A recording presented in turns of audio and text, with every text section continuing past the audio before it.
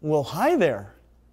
This is one of the biggest philosophical questions of our time.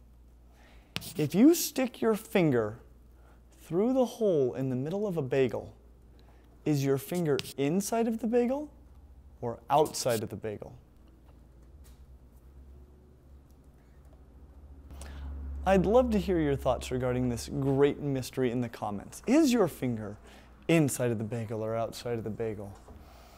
This has plagued philosophers for generations, pretty much since the advent of the bagel. I've talked to many people about this question, and there never seems to be a clear consensus.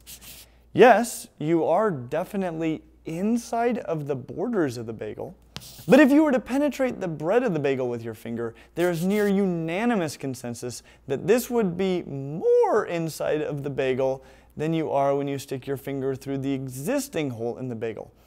It's quite the conundrum. Okay, new question. If a trained surgeon would be to cut you open, insert a bagel into your body cavity, and sew you up, what would happen? You'd probably die. You probably can't survive having a bagel inside of your body.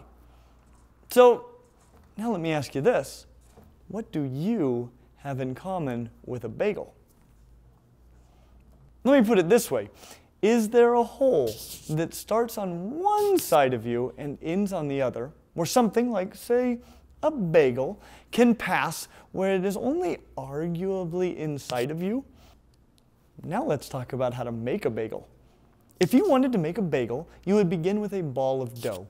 You would then stick your finger into the dough and push until it comes out of the other side, forming a hole. Well, it turns out that at one point in time, you were just a ball yourself. That ball was called a blastula, and eventually, one side began to poke in. This invagination is called a blastopore. And it continued to poke through until it formed a complete hole all the way through you. This is a complete gut with a mouth at one end and an anus at the other. In some groups, like flatworms, it doesn't quite make it all the way through. Thus, they have a mouth only, but no anus, which means that their mouth needs to do double duty. Now, I should mention that there are two ways that you can make a mouth and an anus by pushing through a ball of cells. One way is to start at the mouth and end at the anus.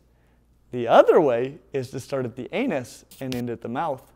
Mouth first development is called protostome development. The flatworm is clearly in this group as it only has a mouth. Anus first development is called deuterostome development. I find that people would like to hear that they are protostomes because hearing that your anus is the far side of your mouth is so much more pleasant than hearing that your mouth is the far side of your anus. But I have bad news you're a deuterostome. And now you know.